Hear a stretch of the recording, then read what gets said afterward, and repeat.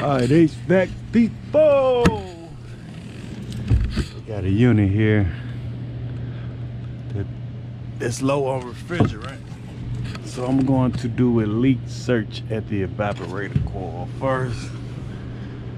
This is a four ton.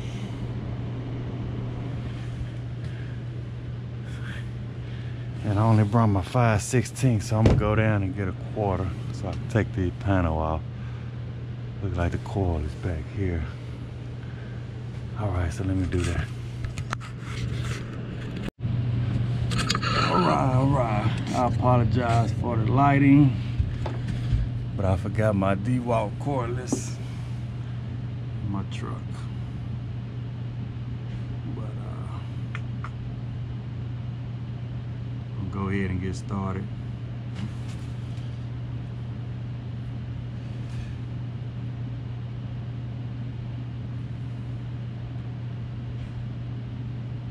All right.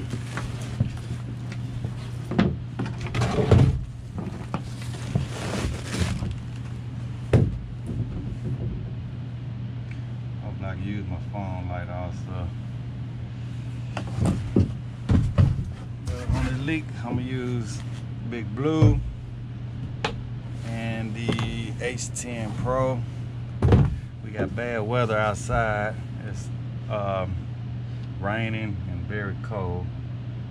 Uh, previous technician came by and said that the unit was low on refrigerant. So I'm gonna start up in here and if the weather permits getting the breaker sound like the blower keep- keep running. So I don't know what's going on here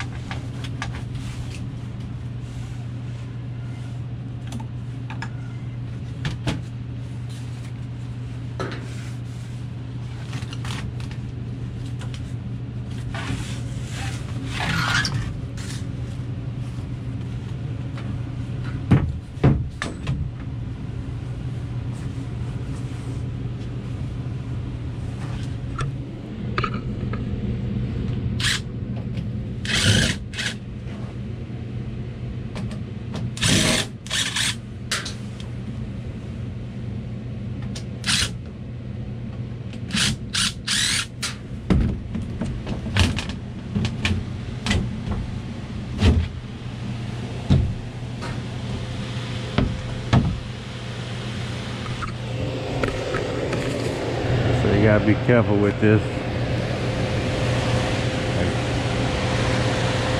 You see they got the breaker bypass. The breaker is off. They continue to run. Nothing hooked up.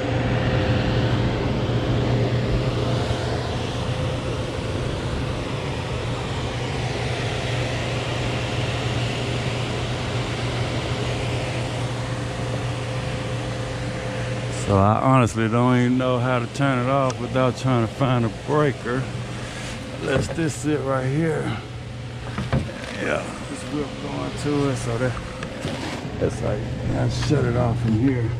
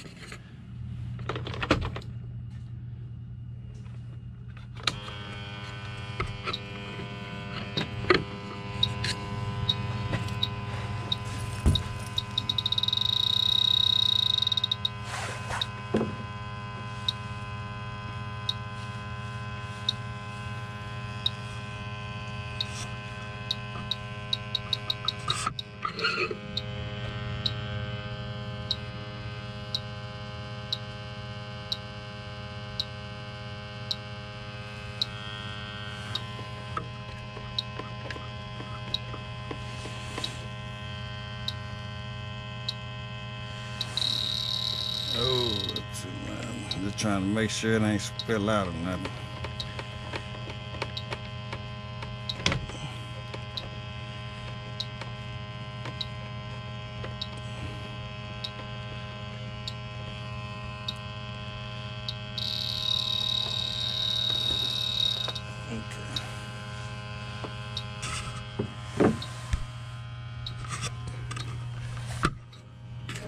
Apologize for the lighting.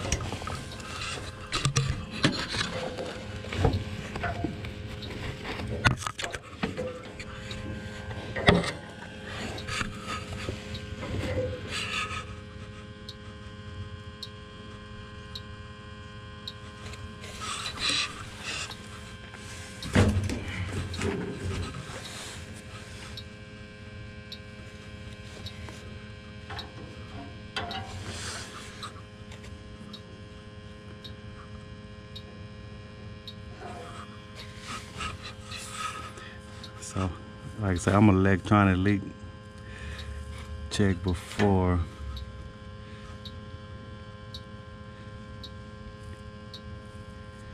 See, the bad part about this, I haven't hooked my gauges up outside, so I don't know what kind of pressure we have. Because if it's very low, or no, none at all, I think they said it had something in here with just low. But if it's too low, the electronic leak detector will not detect it.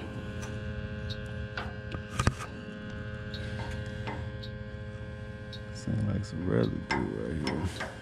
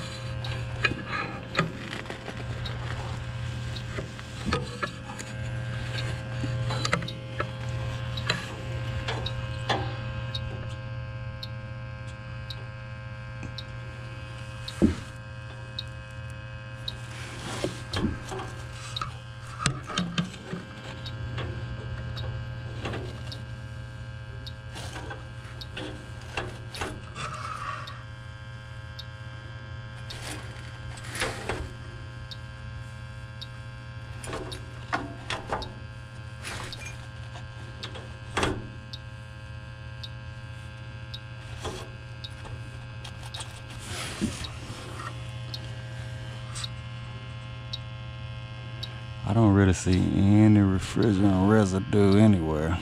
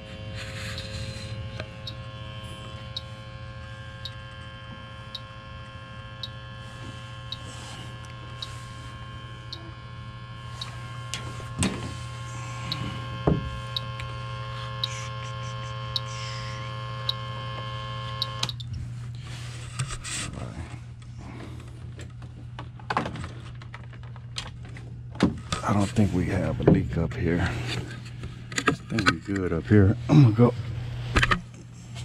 Hopefully I can get outside and check.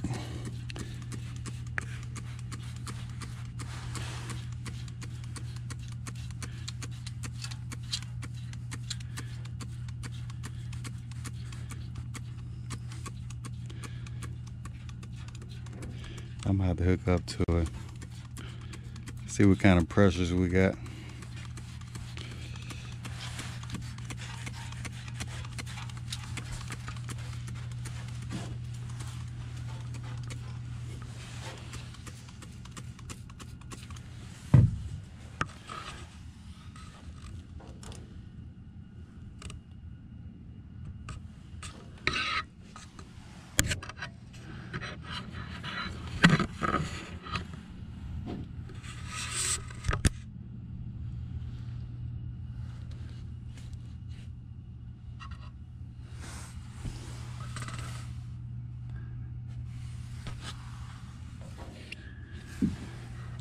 Yeah, so I don't see anything out the ordinary. I am going to uh, button this up and um,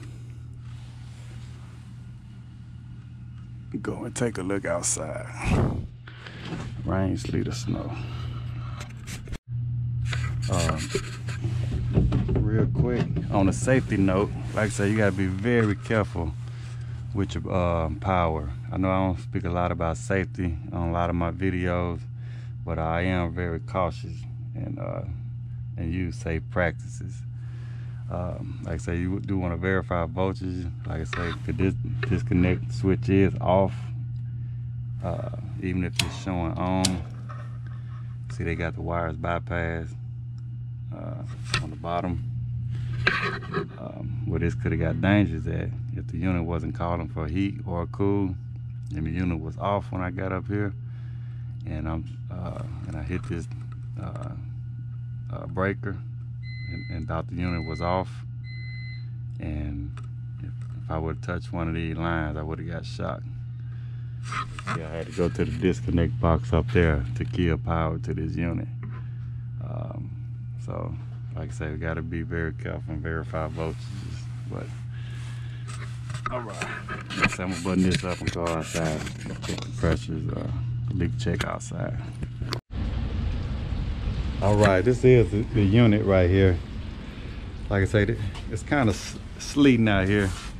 I don't know if you can see it.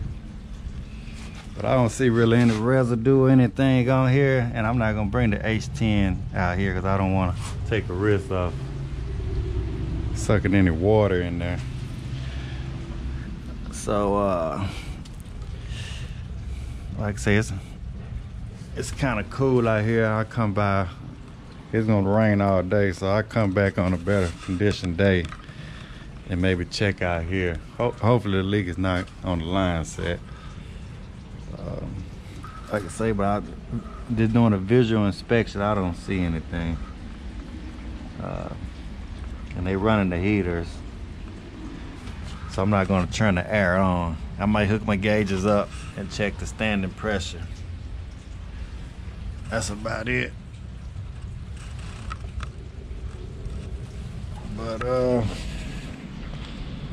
it's about 11 o'clock. I think I'm just gonna call it a day because most most of the work is outside. Uh, so I think I'm gonna go go and do some research, maybe a little studying. Anybody got some ideas for growth and development in HVAC, business or tech wise? Leave a comment below and I'll check it out. All right.